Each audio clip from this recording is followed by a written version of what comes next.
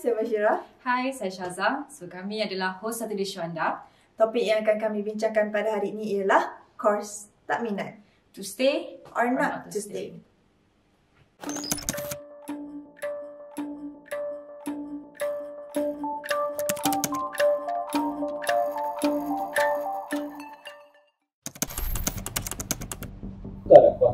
Ambil sekarang. Hmm, suka? Saya faham juga. Sebab apa? Obviously because it's something that I'm interested in. Something yang I minat.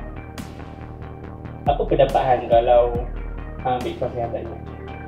Kalau I ambil course yang I tak minat, obviously kenalah keluar terus kot. Like, okay maybe tak keluar terus lah. Tapi I akan cuba untuk keluar daripada course tu. Sebab? Pasal apa? Kenapa? Hmm. Sebab bagi I, bila you dah, okay, bila you dah tak minat course yang you nak ambil tu, you takkan bagi 100%. Okay, you are here as a student kan, you are supposed to give your best bila you study.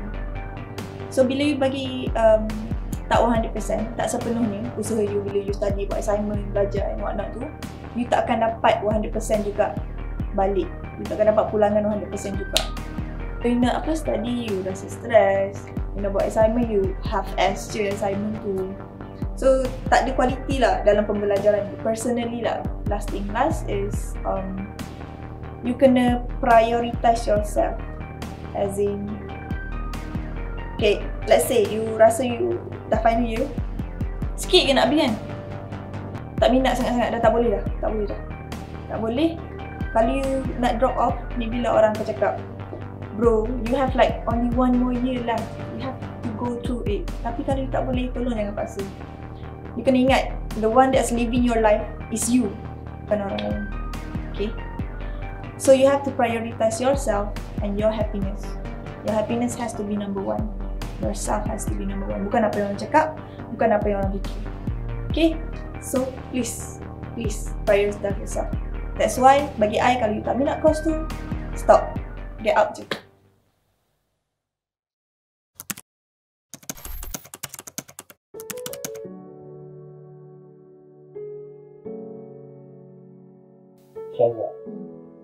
Kamu suka tak course yang ambil sekarang? Hmm, to be honest, uh, this is not something I wanted to do in life. I've never imagined myself that I would choose this path, but here I am, pursuing and doing what I don't expect me buat lah. Tapi kenapa ambil juga course yang ambil sekarang ni? Sebab macam aku cakap tadi, I don't have choice. Aku dah aku diterima masuk dalam kursus ni but I still um, accept je and then I'll just work with the system and here I am right now. Yeah. So, Han pilih untuk stay dengan course yang Han tak minat ni kan? Hmm. Pasti apa Han stay? Dan macam mana Han sebab dengan course yang Han ambil? One of the reason why I choose to stay walaupun aku tak minat course tu is because first aku rasa masa. Masa ni plays a very big important role in your life, especially in my life because say lah kalau aku study for two years and then suddenly I found myself suddenly tak minat. Sebab susah ke? Sebab tak minat everything. For me aku rasa aku akan still teruskan.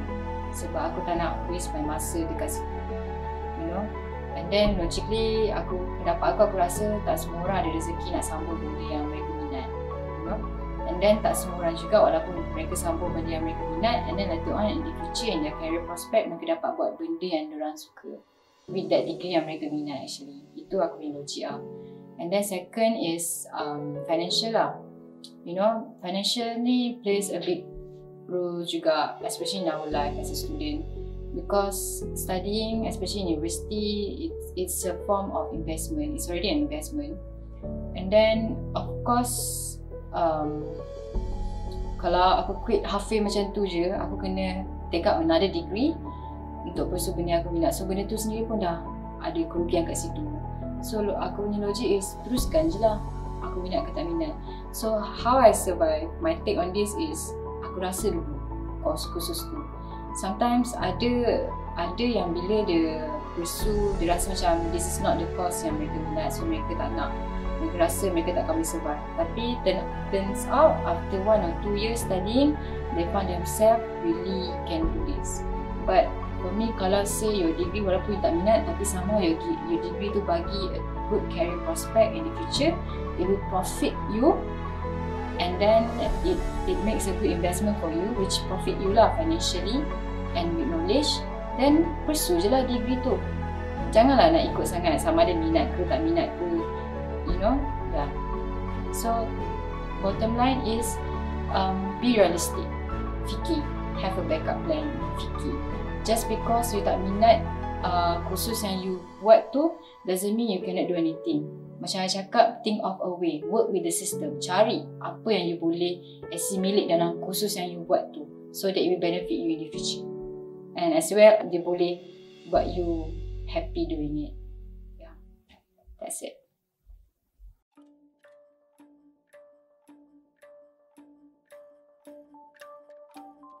Okay guys, so jangan lupa untuk like, comment dan share video kami. Yeah, and then uh, give your thoughts on the matter that we discuss about. We will be we will appreciate it if you guys boleh bagi pandangan korang. And then paling penting sekali, jangan lupa subscribe Simple Production.